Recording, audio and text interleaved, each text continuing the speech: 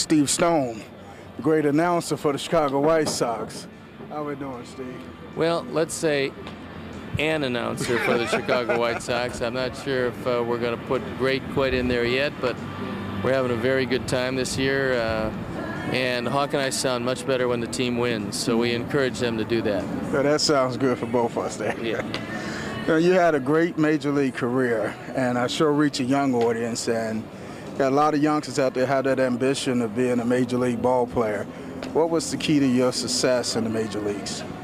Key to my success was first of all getting there, and to get there, you have to have a couple of different things. One, you have to have, hopefully, tremendous support from your parents. That's a big factor, and my parents were always there. They were always very supportive. Even when I didn't believe in myself, they believed in me, and I think that's of critical importance. And two, I got a college education before I actually became a good major league pitcher because the odds of making it are infinitesimal.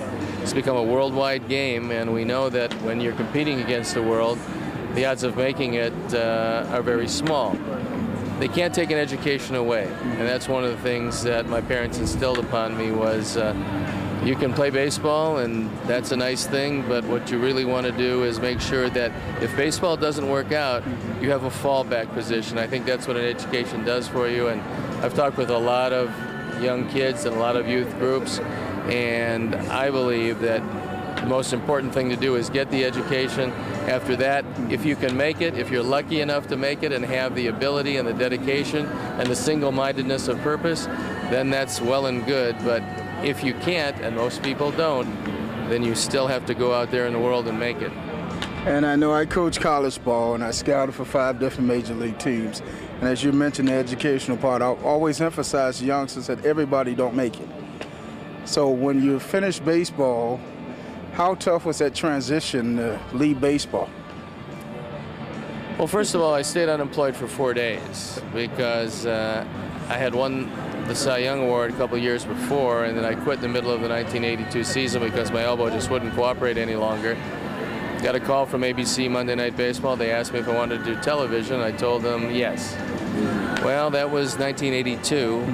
This is 2009, and I'm still doing it. So uh, for me, that was the brass ring. I'd never done it before, but I figured you might as well go for it, which pretty much has characterized my career. And I really didn't have to go out and use the teaching degree in history and government that I got. Mm-hmm. I love sports. If you can't play it, the next best thing is to talk about it. Mm-hmm. And so here we are, many years later, still doing it. So how do you find 162 games things to talk about? This is my 40th year in professional baseball and you see things on a daily basis that have never happened before. And you would think that after all this time and all those years, that everything that could possibly happen would have happened. Mm-hmm. And now you see Jermaine Dye and Paul Konerko hit back-to-back mm-hmm. 300th home runs. Mm-hmm. Something that's never happened in a game before. And we see that probably every couple of weeks. We'll see something that's never happened. So if you love the game, and I have a tremendous love and respect for the game and the people who play it, mm-hmm. you always have something to talk about. And just this last question, because we know you got to keep moving. Uh, I always ask each of our guests on our show one thing that they remember about their major league career that they never forget that those youngsters may not never experience. The All-Star game in 1980, I got a chance to start it. I threw three perfect innings. I had my parents in the stands. Faced nine men, struck out three. Didn't walk anybody, obviously.